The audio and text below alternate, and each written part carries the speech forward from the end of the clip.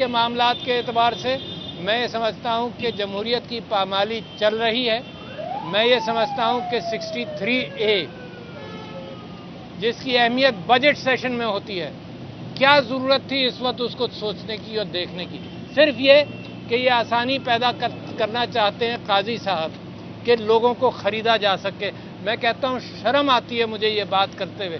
دنیا کے سامنے کہ ہمارے چیف جسٹس لوگوں کے بکنے کا ماحول پیدا کر رہے ہیں جسٹیفیکیشنز پیدا کر رہے ہیں۔ کبھی آئین کو اپنی پش پناہی پر استعمال کرتے ہیں، کبھی آئین کو پامال کرتے ہیں، کبھی بلے کا نشان لیتے ہوئے غلط فیصلے کرتے ہیں، مجرمانہ فیصلے کرتے ہیں۔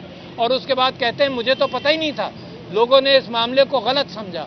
اور وہ تماشا دیکھتے رہے کئی مہینے، مگر ریویو پیٹیشن میں فوراً دوسرے دن وہ ریویو پیٹیشن ایکسیپٹ کرتے ہیں، جو بلاسفمی والی ہے۔ دوبارہ ریویو پیٹیشن ایکسیپٹ کرتے ہیں۔ جب اپنے اوپر بات آتی ہے تب وہ ٹی وی بھی دیکھتے ہیں، تب وہ اخبار بھی دیکھتے ہیں۔ مگر پی ٹی آئی کے معاملے میں جتنا متاثر کام انہوں نے کیا، یہ جسٹس منیر سے زیادہ بڑا نقصان پہنچایا ہے پاکستان کو۔ اور میری صرف ایک درخواست ہے، ایک وعدہ میں چاہتا ہوں چیف جسٹس صاحب سے کہ جب بھی وہ ریٹائر ہوں گے تو پاکستان میں رہیں گے۔ میں سمجھتا ہوں پاکستان کی قوم ان کی عزت افزائی کرے گی اور پاکستان میں رہیں تو ان کو اندازہ ہوگا کہ جس نے ملک میں رہنا ہے، اس نے ملک سے غداری نہیں کرنی۔ تو لہٰذا میں بڑی مذمت کرتا ہوں۔ میں نے ابھی ابھی سنا ہے کہ سکسٹی تھری اے کا فیصلہ آ گیا۔ واپس آتا ہوں۔ کیا جلدی تھی؟ یہ صرف امینڈمنٹ پاس کرنا چاہتے تھے، چاہتے ہیں اس جعلی اسمبلی کے ساتھ، جس کو فضل الرحمان صاحب نے بھی کنڈیم کیا، جو اس قابل نہیں ہے کہ قانون پاس کرے۔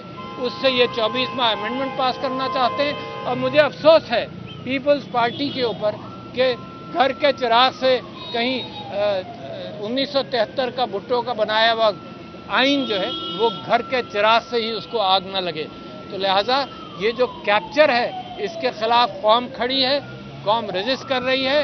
میں قوم کو بتانا چاہتا ہوں کہ آپ کا پیسفل پروٹیسٹ آپ کا حق ہے، آپ کا رائٹ ہے۔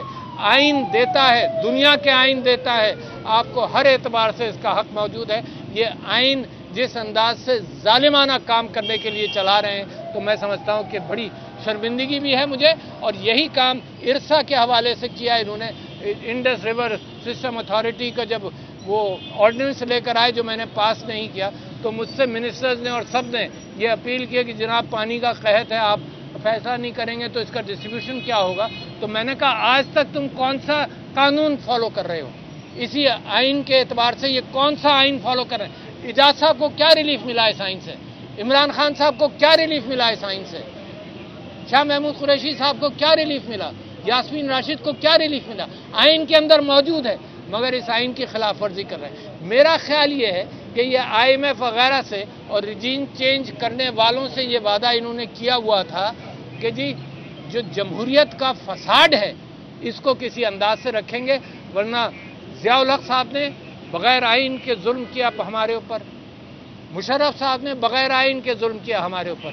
ہمیں جو ظلم آئین کے ہوتے ہوئے جو کیا ہے پاکستان کے اوپر، میں اس ظلم کی مثال پاکستان کی تاریخ میں نہیں دیکھتا، صرف انگریزوں کے۔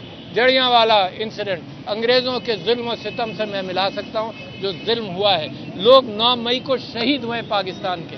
اور میں سمجھتا ہوں کہ کوئی اگر یہ کہے کہ تحریک انصاف اتنی پرامن جماعت، جتنے جلسے کیے پرامن کیے، کس نے اس میں بدماشی کی ہے؟